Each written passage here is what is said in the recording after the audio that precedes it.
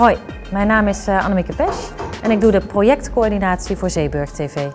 De portal is dus inmiddels op volle kracht uh, online en we hebben uh, heel veel filmpjes gemaakt in samenwerking met bedrijven en instellingen en het stadsdeel Zeeburg zelf. Mijn favoriete plek in Zeeburg is de Rode Brug, want ik ga er nu afspringen. Ik ben Maria Zaal van Stichting Almere Kennisstad. Wij zijn enthousiast over Community TV omdat wij merken dat instellingen, winkels, de overheid en de bewoners van Almere Haven het leuk vinden om op deze manier elkaar te informeren, voorlichting te geven en met elkaar te communiceren met behulp van de beelden die te vinden zijn op het buurtplatform.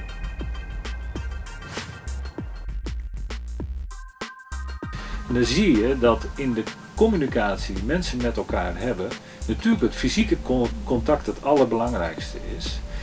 Maar daarnaast hadden we natuurlijk ook telefoon en je had uh, uh, mail uh, enzovoorts. Maar het beeldcontact wat je met elkaar hebt, dat blijkt gewoon het dichtste bij het persoonlijke contact te liggen. Hey Louis, ik had een vraagje.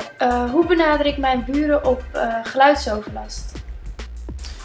Wees in ieder geval op tijd met het aanspreken van de buren en laat het niet te lang betijen. En wees vooral niet bang om de buren aan te spreken. Want in eerste instantie zijn ze vaak niet eens bewust dat ze geluidsoverlast veroorzaken. En vaak is het zo dat ze zelfs blij zijn dat de buren zoiets uh, melden en dat ze er vaak zelf iets aan kunnen doen. Oké, dankjewel.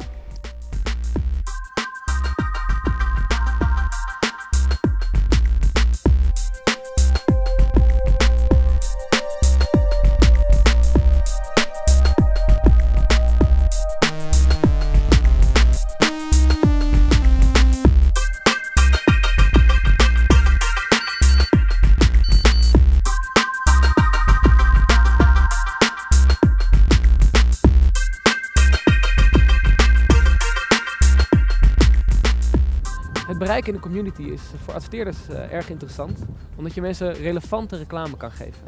Um, nou, een bumper is eigenlijk een, een, filmpje van drie of vier seconden wat zich afspeelt uh, voor het filmpje dat de gebruiker gekozen heeft. En dan kan je heel snel even laten zien uh, wat de aanbieding is op de, de buurtsuper of welk eetcafé een, een nieuw menu heeft. Café-restaurant blok 4 in de zomer. Genieten van lunchtijd tot zonsondergang.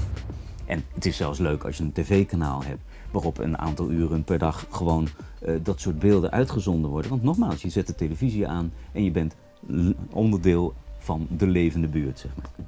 Dat soort dingen, die combinatie van, van gemak, gewoon voor de lol en hele serieuze toepassingen, daar geloven wij heel erg in.